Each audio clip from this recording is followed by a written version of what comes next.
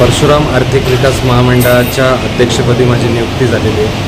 आणि साधारणतः महाराष्ट्राची संस्कृती आहे की कोणत्याही त्या ठिकाणी सुरुवात करत असताना आपण आपल्या महापुरुषांना अभिवादन करून त्याची सुरुवात करतो. आणि म्हणूनच गेल्या दोन दिवसापासून मी महाराष्ट्रात अभिवादन दौऱ्यावर आहे. अगदी रायगडापासून सुरुवात करून परशुराम मंदिर चिपळूण करत सज्जनगड क- कराड सांगली कोल्हापूर आणि आज साताऱ्यामध्ये या ठिकाणी सुहास इंगळे आणि त्याच्या सर्व सहकाऱ्यांनी एक भेटी आणि चर्चेचा कार्यक्रम या ठिकाणी आयोजित केला.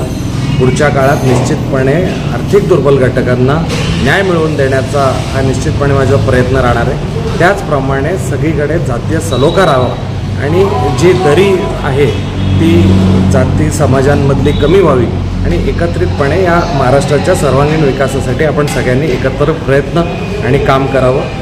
जास्तीत जास्त फोकस हा शिक्षण नोकरी आणि व्यवसाय या माध्यमातून जास्तीत जास्त तरुणांना सक्षम करण्याचा प्रयत्न या महामंडळाकडनं असेल. आपण जे आत्ता भेटी देत आहे प्रत्येक ठिकाणी त्याच्यामागचं नेमकं उद्दिष्ट काय? नेमकं उद्दिष्ट हे आहे की आपण जाणून घेतलं पाहिजे की तरुणांचे प्रश्न काय आहेत नक्की काय काय केलं पाहिजे. आज ग्रामीण भागातले अनेक तरुण असे आहेत जे पुण्यासारख्या मुंबईसारख्या ठिकाणी शिक्षणासाठी येतात. त्यांच्या वसतिगृहाचा प्रश्न आहे. त्यांच्या दोन वेळेसच्या स- सकस आहाराचा प्रश्न आहे. असे अनेक जे प्रश्न भेडसावत आहेत आणि त्यानिमित्ताने ज्यांनी या महामंडळासाठी स्थापन व्हावं यासाठी संघर्ष केला अथक प्रयत्न केले अशा सर्व त्या ठिकाणी समाज बांधवांना भेटून त्यांचे ऋण व्यक्त करून या पुढच्या वाटचालीसाठी सुरुवात करावी हाच हेतू आहे.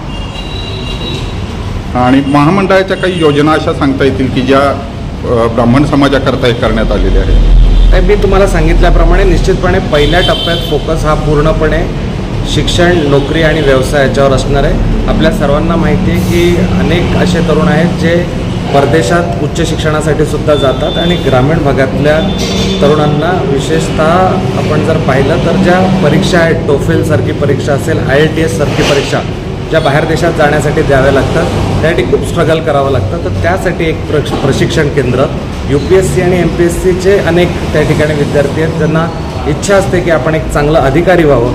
त्यांच्यासाठी प्रशिक्षणाचं केंद्र त्यांना ती पुस्तकं जी खूप महाग असतात आणि त्यासाठीचं मार्गदर्शन हे मिळावं यासाठी प्रयत्न असणार.